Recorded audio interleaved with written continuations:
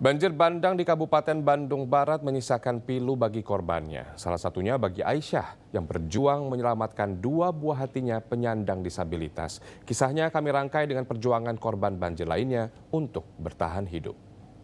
Evakuasi korban dengan pemadam kebakaran. Di penghujung tahun 2019 lalu, banjir bandang menerjang kampung Pejagalan, Desa Cipendei pada Larang, Jawa Barat, termasuk rumah Aisyah. Ibu dua anak itu masih ingat bagaimana ia berjuang menyelamatkan anak-anaknya yang memiliki kebutuhan khusus. Anak pertama Aisyah yang berusia 30 tahun menderita hidrosipalus, sementara anak bungsunya memiliki epilepsi dan tunawicara. Derasnya aliran air menjebol dinding rumah dan merendam seluruh penghuninya. Beruntung ia dibantu tetangga untuk bisa selamat dari terjangan banjir. Kini banjir telah reda. Aisyah berharap mendapat bantuan perbaikan rumah serta perabotan rumahnya yang terbawa banjir.